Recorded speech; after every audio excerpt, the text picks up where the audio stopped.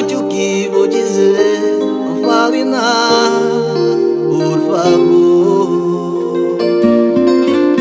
Hoje eu não quero ouvir a sua voz, o amor.